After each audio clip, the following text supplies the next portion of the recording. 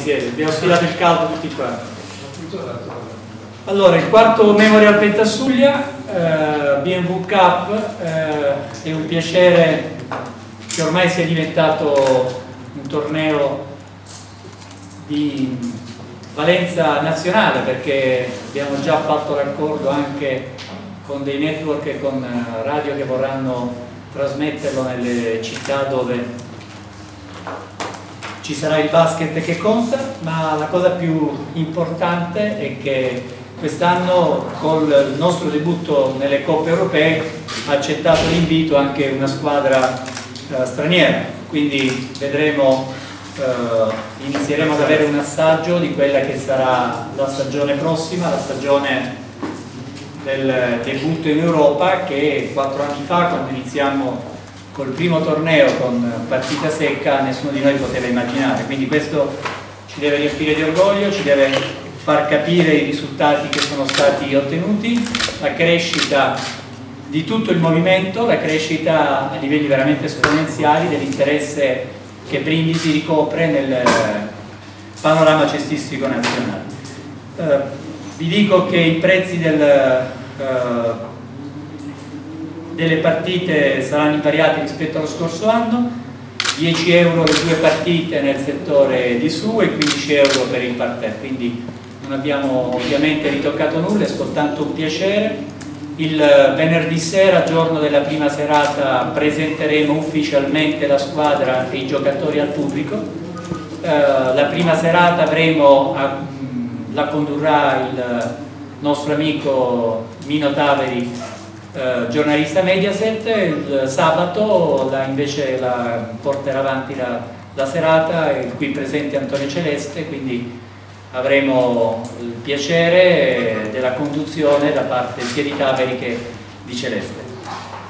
La cosa bella quest'anno è l'ultima sera, eh, dopo la finale e la premiazione, eh, tutti i tifosi dell'Enel Basket sono invitati nella piazzetta antistante a Palazzo Nervegna per una serata in collaborazione con Red Bull, una serata che eh, corre il rischio di diventare storica e famosa perché è una delle prime che fanno in questa città, ma la fanno con degli sportivi, la fanno con chi rappresenta secondo loro un movimento importante, un movimento da sposare che si coniuga bene col brand del loro marchio. Uh, una cosa che vi volevo dire, domani sera alla fine del primo allenamento uh, finalmente della squadra nel palazzo apriremo le porte del, della palestra e potrete tutti, tifosi, giornalisti, amici, eh, conoscere e vedere da vicino per la prima volta finalmente tutti i giocatori che comporranno il roster dell'anno prossimo. Eh, da questa sera arriverà un nuovo giocatore, De Montpiatter è appena arrivato, Alessandro ha pescato un ragazzo molto molto interessante, un rookie, si chiama Cameron Hayes, si aggrega alla squadra, non ha firmato nessun contratto, lo valuteremo, vedremo un attimino le sue capacità, la sua voglia e, sua, il, suo, il grado tecnico eh, con cui ci auguriamo arrivi già pronto per poter affrontare questa prima parte di stagione e poi entro il 30 settembre prenderemo una decisione se confermarlo o meno. Questa è una decisione della società, me ne assumo ogni responsabilità, avendo fatto una squadra molto interessante, dove vi chiedo solo una cortesia, non voglio più sentir parlare di panchinari, eh, sostituti, noi abbiamo nove in questo momento titolari, nove giocatori che potrebbero giocare in quintetto base in quasi tutte le squadre del campionato italiano. Quindi, essendoci resi conto che veramente è venuto fuori un team importante, per il ruolo di ala piccola, come si dice in gergo, numero 3, eh, che andremo a trovare, vogliamo avere molta pazienza, molta calma, aspetteremo probabilmente la fine del veteran camp o i primi tagli del veteran camp perché non vogliamo sbagliare e vorremmo rimanere ambiziosi e, e sul pezzo come vi abbiamo promesso dall'inizio della campagna acquisti. Campagna acquisti che ci ha visto eh, scrivere una pagina non felice del nostro basket ultimo, del quale vi voglio parlare perché mi sembra giusto fare chiarezza. Uh, si è letto e scritto tanto, uh, però di fronte a un giocatore che ti manda il passaporto, che ti manda il tesserino per essere tesserato, uh, di fronte ai procuratori che ti danno l'operazione chiusa, di fronte al Twitter del giocatore stesso che annuncia il suo arrivo in questa città, credo che anche i più tranquilli, anche i più eh, esperti e navigati sicuramente del sottoscritto sarebbero caduti nel trabocchetto di dare il giocatore fatto e chiuso per noi. Eh, abbiamo ricevuto addirittura in quei giorni delle relazioni, una me la spedì Alessandro di un, di uno, un suo collega scouting che ci faceva i complimenti per la presa del giocatore, quindi siamo stati veramente beffati sul filo di lana, però nella vita si chiude una porta e si apre un portone, probabilmente eh, qualcosa era scritto lassù che questo giocatore non doveva venire a Brindisi, ripeto, io ho rilasciato delle dichiarazioni dove aprivo eh, sinceramente le porte all'arrivo di questo atleta, probabilmente ho peccato di entusiasmo, ma se ho sbagliato l'ho fatto per passione, perché credo che di questa squadra essere il primo tifoso il primo eh, ultra insieme agli amici della curva e quindi eh, mi assumo ogni responsabilità per ciò che è uscito sulla stampa della chiusura positiva del giocatore ma così come vi dico che eh, non ci aspettavamo un comportamento come quello che si è verificato. Però questo serve per imparare le lezioni servono per crescere e sono tutte esperienze che immagazziniamo per essere più bravi, essere più forti e non incappare in altri errori. Eh, dopodiché abbiamo chiuso i due giocatori Ivanov e Harper in, eh, in tempo praticamente eh, da record e questo devo ringraziare Alessandro che mi segue, mi sopporta nelle mille telefonate che gli faccio al giorno ma che si sta dando un grande affare per eh, allestire il miglior team che si possa fare. Obiettivi per l'anno prossimo. Uh, nessun giocatore ha firmato obiettivi salvezza. Nessun giocatore si accontenterà uh, di vivacchiare brindisi. Uh, certo, se noi pensiamo di fare quello che abbiamo fatto l'anno prossimo, penso che iniziamo a sognare un po' troppo. Ciò che è successo l'anno scorso è qualcosa, mi auguro, di ripetibile, ma razionalmente parlando irripetibile essere campioni d'inverno, essere in testa alla classifica per gran parte del campionato ritengo che non faccia parte del DNA di questa città, ma che faccia parte di qualcosa che nella vita può capitare, un treno che ti passa e devi cercare, un'onda che ti passa e devi cercare di cavalcare quanto per più tempo possibile. Noi l'abbiamo fatto. Però i nostri obiettivi sono quelli di ben figurare, di far parte del lato sinistro della classifica, di essere fra le prime otto alla fine del girone d'andata per qualificarci per le Final 8, di cercare di ripeterci nei playoff, magari superare anche un turno e di andare quanto più avanti nelle coppe. I programmi della società sono questi, il main sponsor richiede eh, un'applicazione molto professionale, un taglio molto professionale a, questo, a questa società e noi lo faremo per rispetto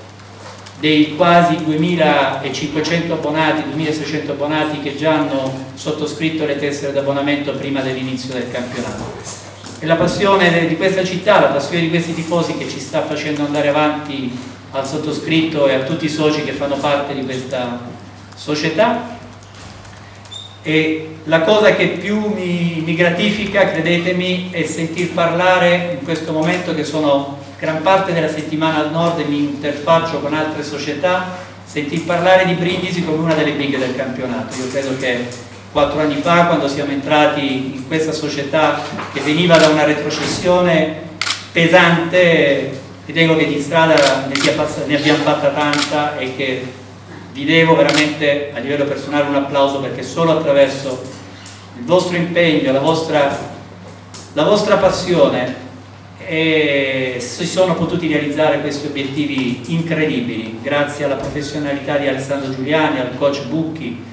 a Nicolai, a tutti i soci che fanno parte veramente, siamo riusciti a creare pagine di storia che magari tra vent'anni forse rivedremo in queste, ecco, al posto magari di Claudio, di Elio, vedremo un'altra volta Bucchi, vedremo il nostro Jerome Dyson che incontrerò sabato a Sassari, che giustamente a fine campionato ci aveva chiesto che aveva piacere a partecipare all'Eurolega. Quindi quando sento dire abbiamo perso Jerome Dyson, noi non abbiamo perso Jerome Dyson, noi ci siamo salutati da persone corrette con un giocatore che aveva espresso il desiderio di andare in NBA o di fare l'Eurolega. Quindi siamo stati attenti, abbiamo cercato di riconfermare i giocatori più importanti, coloro i quali che avevano voglia di rimanere a Brindisi. E a proposito di passione, devo dire che mi ha stupito in maniera molto molto positiva la creazione dell'associazione Brindisi Canestro e mi fa piacere che stasera la presenza del dottor Tomei che è uno dei rappresentanti che sta seguendo più da vicino questa, questa associazione. Eh, loro il 3 settembre si riuniranno per rendere operativa e ufficialmente nata questa, questa associazione di imprenditori, di professionisti, di tifosi. Sarà un valido apporto al, all'Enerbasket, ma non deve essere considerata una tra virgolette sponsorizzazione, un aiuto di denaro che questa associazione darà, ma sarà un'associazione che più in là dovrà essere eh, il cuore pulsante della società brindisina, perché noi dovremo arrivare ad essere una società con un azionariato popolare, con un azionariato eh, basato dai veri tifosi, da coloro i quali la domenica sono presenti nel Palazzo Elio Pentasuglia, che ci auguriamo non più questo tra qualche anno, ma uno un po' più grande o questo ristrutturato per poter accontentare tutti i tifosi, ma per poter creare dei progetti importanti e dei progetti duraturi. Brindisi non ha eh, purtroppo e se ci fosse qualcheduno, qualche imprenditore, qualche menzionata che decide di investire a pallacanestro, personalmente sono pronto a farmi da parte, ma io mi farò da parte insieme ai soci che mi accompagnano da questo progetto solo quando vedremo un progetto serio, un progetto di imprenditori che vuole bene alla pallacanestro e che viene a Brindisi per fare pallacanestro. E non viene a Brindisi per farsi pubblicità e far morire ciò che con tanto impegno, con tanti soldi, abbiamo costruito fino adesso. Quindi questo è il mio impegno, saremo, mi auguro, protagonisti di questo campionato. E vi dico anche che per le coppe stiamo studiando dei biglietti e dei, visto che ho i miei amici tifosi che mi criticano sempre per i, per i prezzi dei biglietti, stiamo pensando a dei, a dei costi molto interessanti il parterre costerà 20 euro, il parterre quarta quinta fila 15 euro, quelli posteriori le ultime file 8 euro. Per le tribune si tratterà di 8 euro per le gradinate curve e 12 euro per le tribune. Quindi abbiamo fatto dei prezzi tali da potervi avere ospiti anche eh, ad assistere alle nostre partite e ci auguriamo di, di fare un bel cammino perché Brindisi in Europa deve essere un riconoscimento per tutti, per noi, ma soprattutto una festa per voi tifosi che avete contribuito in maniera così importante all'arrivo all di Brindisi nel, nell'Eurocentro. Vi ringrazio e passo la parola ad Alessandro.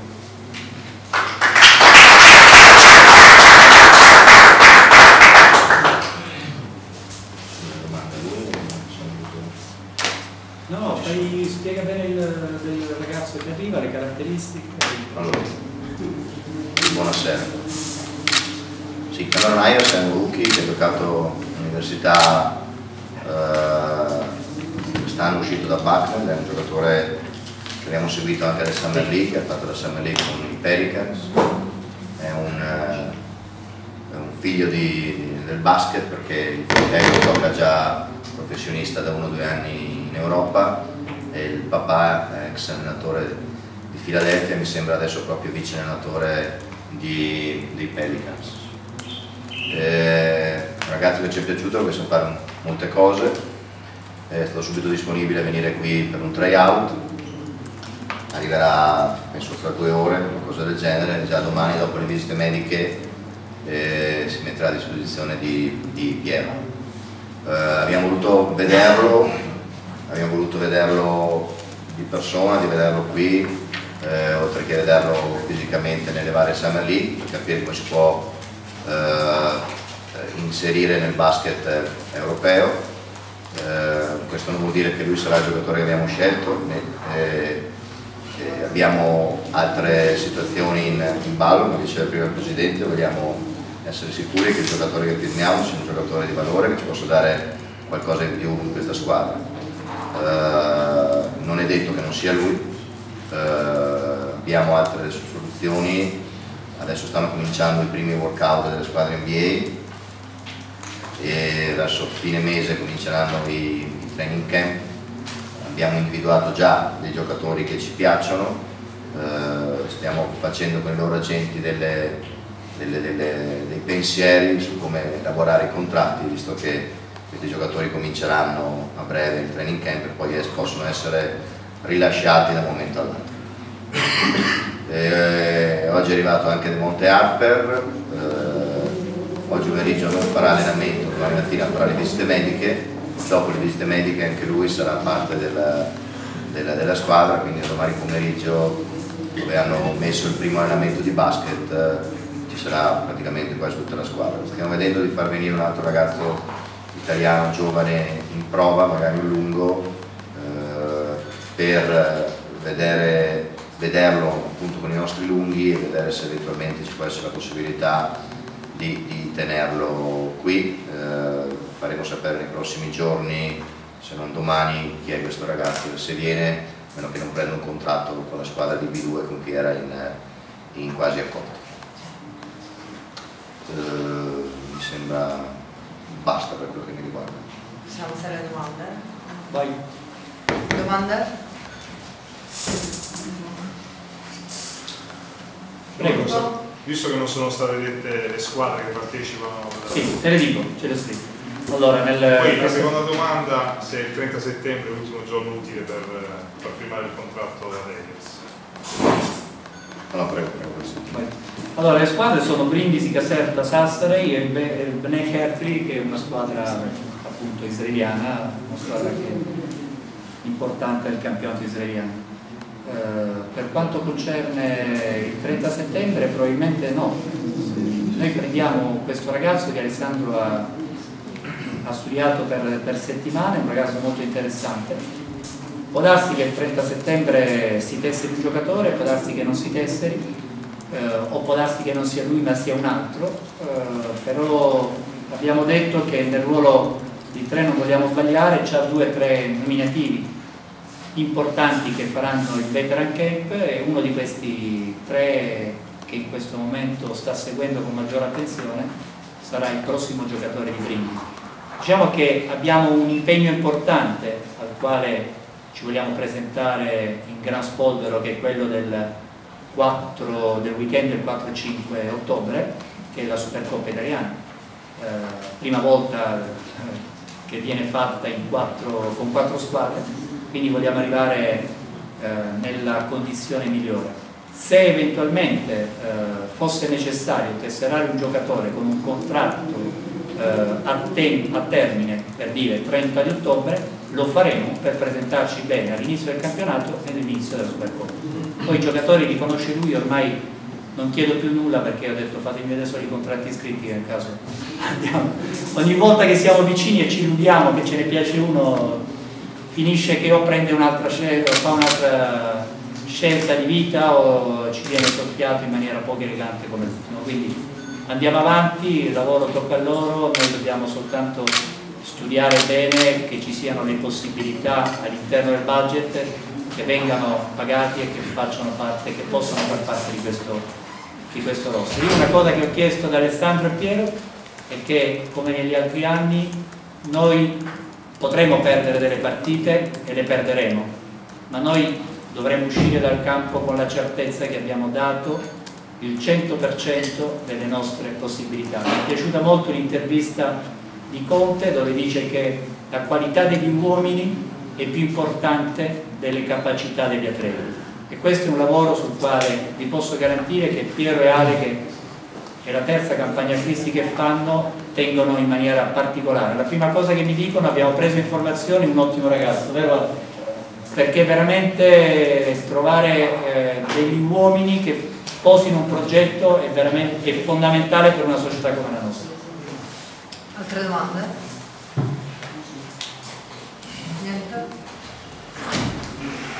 Va bene. Grazie mille. Grazie mille.